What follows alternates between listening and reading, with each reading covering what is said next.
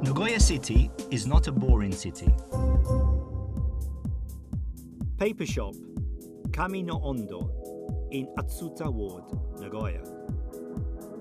They have many kinds of paper from all over the world and also from all over Japan. Kami no Ondo means that they would like to make you feel the temperature of the paper and how it feels to the touch. Japanese washi is made of three plants, which can be respectively kozo, mitsumata, and gampi. These paper bags are all handmade.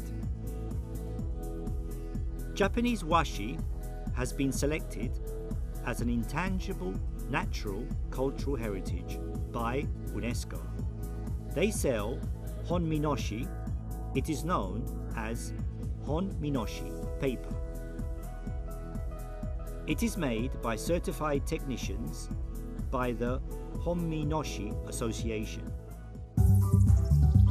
The shop has several kinds of paper from all over the world and not only from Japan.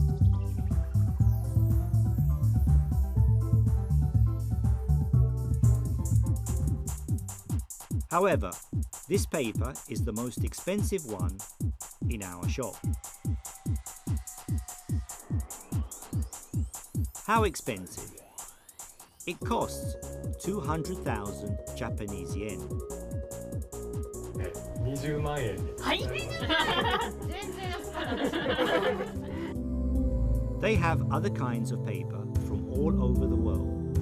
If you are interested in these kinds of paper, please visit it.